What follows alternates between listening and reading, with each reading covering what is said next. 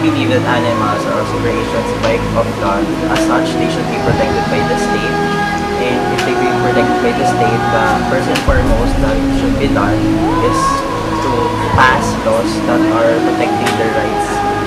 So basically, since we already have legislations about this issue, we should enforce these laws protecting the welfare of animals. And as human beings, we should be stewards of the creations of God should be the ones who are protecting the rights